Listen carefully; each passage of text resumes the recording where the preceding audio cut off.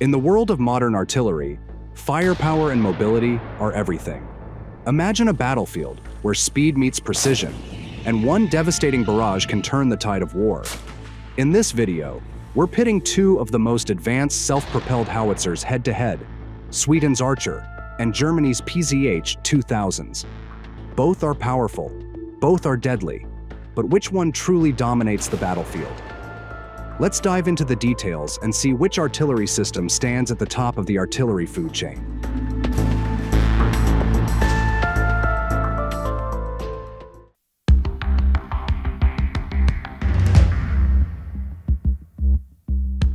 The Archer artillery system, developed by Sweden's Bofors, or now BAE Systems, was designed for fast deployment and mobility, making it perfect for tough Scandinavian terrain. Entering service in 2013, Archer's wheeled chassis, based on a Volvo 6x6 truck, lets it move quickly over snow, mud, and rough terrain. Its fully automated loading system and rapid-fire capability allow it to fire and relocate within minutes, reducing the risk of enemy retaliation. Recently, it gained attention with the British Army receiving 14 units in 2024, proving its reliability and adaptability in NATO operations.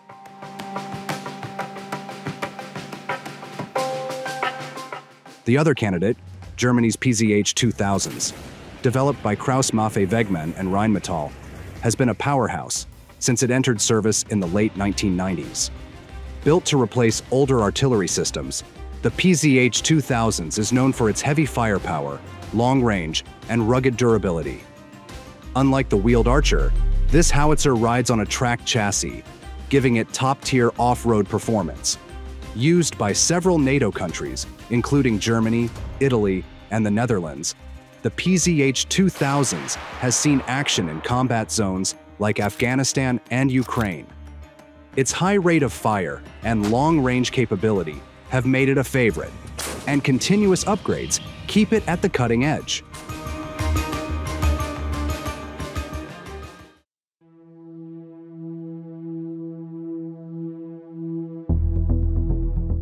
The Archer is a sleek artillery piece featuring a 155mm L-52 howitzer. Its cool automation lets a small crew of just three to four operators deploy it. Thanks to its autoloader, it can shoot all its rounds in under three minutes and then quickly move to dodge counter battery fire. With Excalibur precision-guided munitions, the Archer can hit targets over 50 kilometers away making it perfect for long-range strikes. Its wheeled design makes it super mobile, allowing for rapid deployment in both urban and rural areas, while the automation keeps the crew size down and boosts safety. On the other hand, the PZH 2000s also sports a 155mm L-52 howitzer. It needs a crew of five, but while it's less automated, it packs a punch with more firepower and range. The PZH 2000s can engage targets up to 67 kilometers away, using smart munitions, outdistancing the Archer.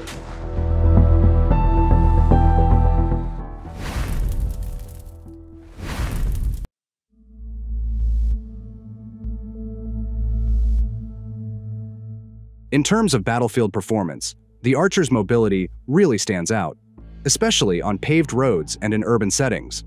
The shoot and scoot capability lets it fire a barrage and quickly relocate, helping it dodge enemy fire. On the other hand, the PZH 2000s may not be as fast on the road, but it shines off-road. Its tracked chassis handles tough terrain like forests, mountains, and muddy fields with ease. However, its slower speed and bigger logistical needs can be a drawback in fast-paced situations,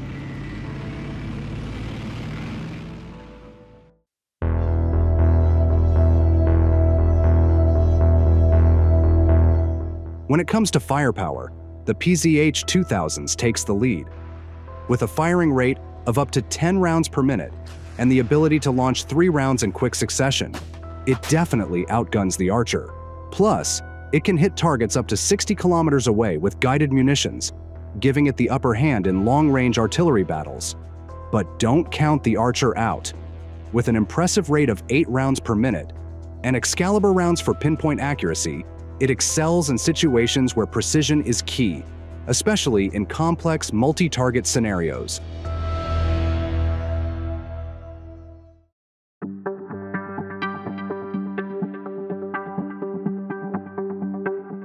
The Archer's quick mobility and wheeled design offer great survivability.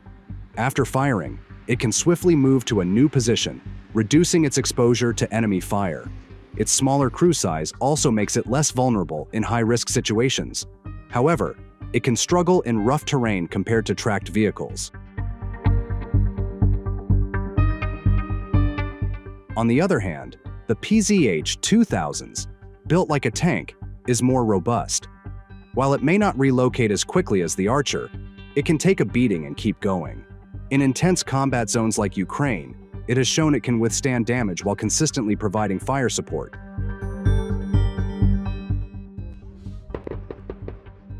Feedback from Swedish and British forces using the Archer has been fantastic. Crews love the automation. It really smooths out operations and enhances safety. The PZH 2000s has also made its mark in various conflicts, like those in Afghanistan and Ukraine. Users consistently rave about its range, firepower, and reliability.